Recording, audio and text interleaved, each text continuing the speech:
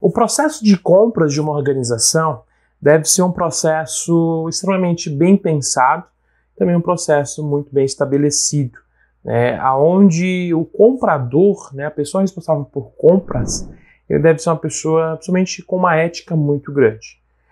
Costuma-se dizer que o setor de compras é como se fosse a prostituta de uma organização, a prostituta da logística. Isso por quê? Porque todos os fornecedores que vendem né, os produtos, eles estão interessados em vender de fato, né? E eles são como abutres, por assim dizer.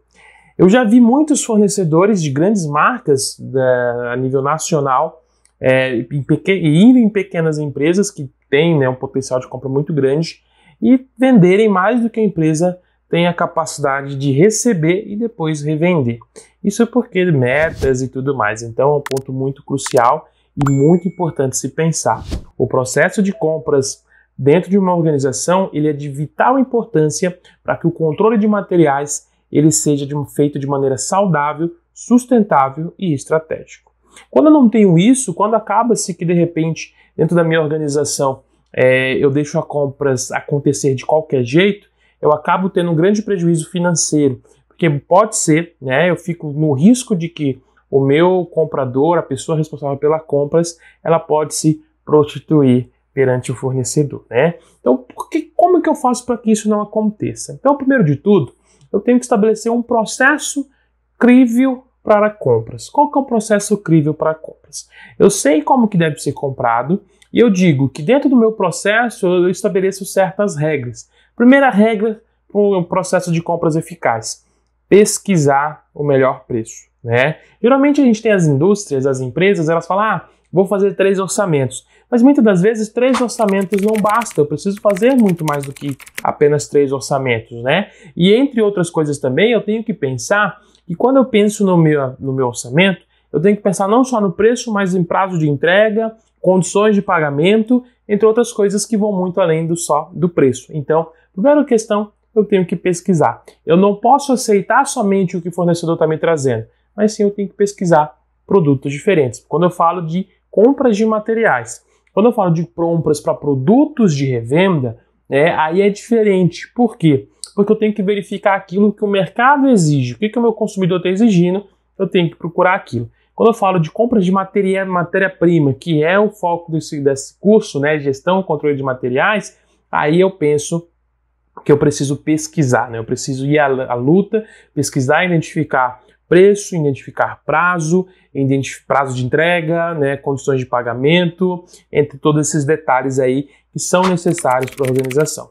Dentro do processo de compras também, como critério básico, eu tenho que colocar que o meu comprador ele tem um valor X para comprar. Eu estabeleço para ele quais são os limites de valores que ele tem para gastar.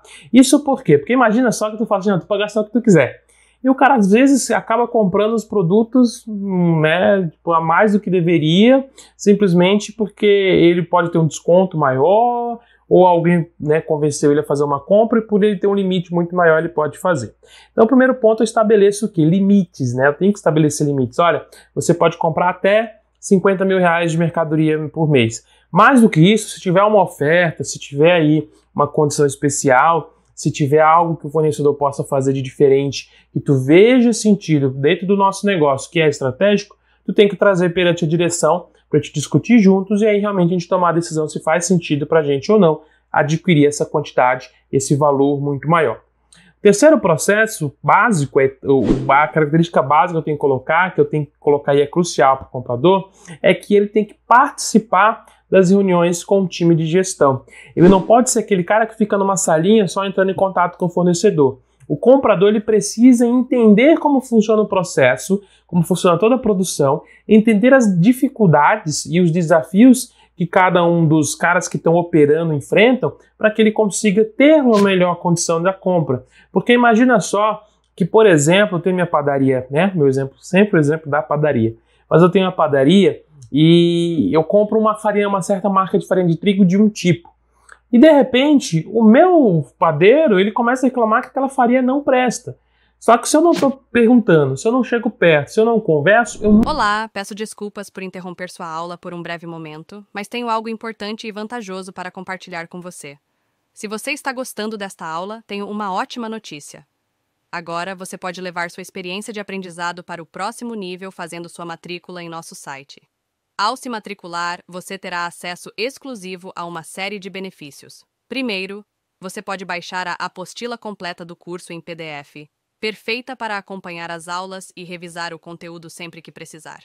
Além disso, ao concluir o curso, você terá a oportunidade de adquirir um certificado de conclusão, um grande passo para o seu desenvolvimento profissional e acadêmico. E sabe o que mais? Ao assistir às aulas diretamente em nosso site, você terá uma experiência de aprendizado sem interrupções ou propagandas.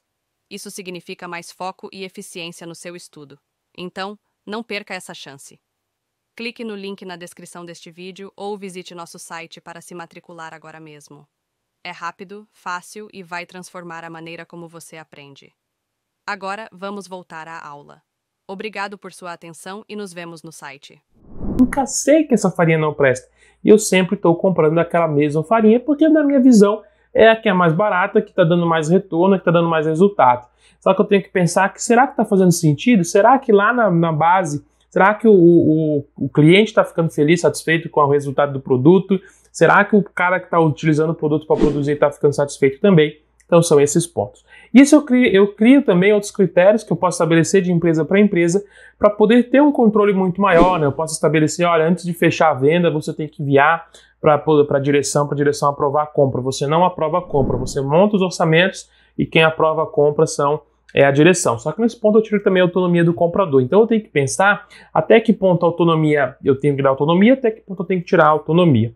Outra questão, quando a gente fala de compras, que é muito importante quando a gente fala da gestão de materiais, do controle de matéria-prima, é que eu preciso ter fornecedores que sejam verdadeiros parceiros de negócios. O que, que são verdadeiros parceiros de negócio? É aqueles que sofrem junto contigo, sabem que se tu não vender, tu vai ter prejuízo e, consequentemente, eles também é aquele fornecedor que quer crescer junto contigo, aquele fornecedor que quer realmente ir para cima, quer realmente evoluir e ele vai te ajudar com tudo que ele puder, seja com preços mais baratos, sejam com condições de pagamentos melhores, sejam com novidades melhores, seja com treinamento para a usabilidade do produto melhor.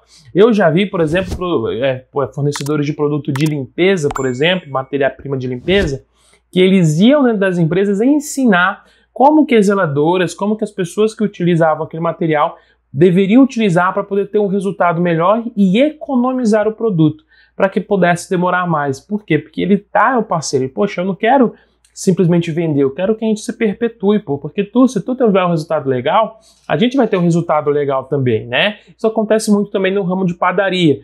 Criei um produto novo, o fornecedor está com um produto diferente, um fermento, um trigo, alguma coisa, ele vai, ele dá os treinamentos, ele está ali, porque ele sabe que se a pessoa realmente a empresa fizer sentido, eu vou estar.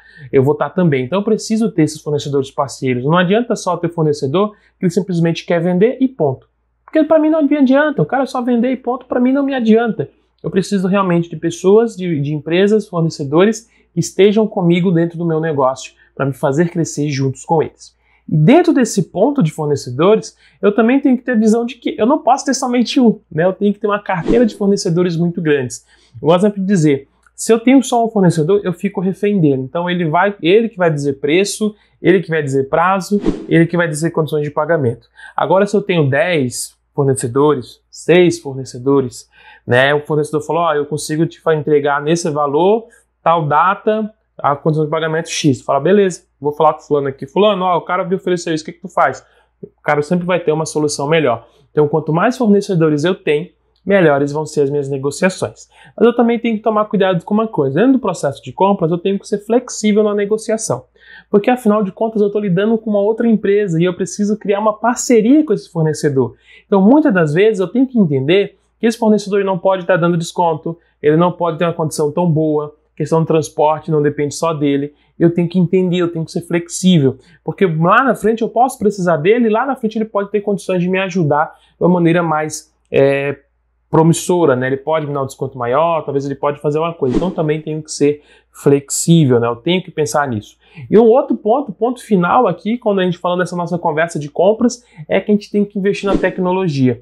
Eu tenho que ter dentro da minha empresa um sistema de compras uma forma de ter um sistema de controle de estoque para que eu possa ter uma visão estratégica de estoque. Eu preciso trazer o meu fornecedor também junto ali dentro de um sistema para que a gente sempre esteja falando a mesma língua, para que de fato eu entenda qual que é a minha real necessidade dentro desse negócio, qual que é a minha real necessidade dentro dessa compra e assim eu tenho um resultado exemplar. Beleza? Espero que tenha entendido, espero que tenha gostado dessa aula. Eu te vejo na próxima aula, fique comigo e por enquanto, vamos que vamos. E aí, tudo bem? Estou passando apenas para deixar um recado bem rápido para você que acabou de ver essa aula e que gostaria de assistir a todas as aulas desse curso.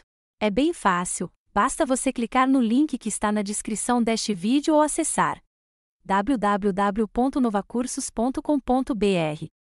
Fazendo sua matrícula em nosso site, você terá acesso a todas as aulas desse curso e mais centenas de outros cursos, além de poder fazer avaliação. E caso você queira, poderá estar adquirindo o certificado com um valor bem acessível. Esse foi o recado que eu queria dar. Aguardo sua matrícula. Até breve.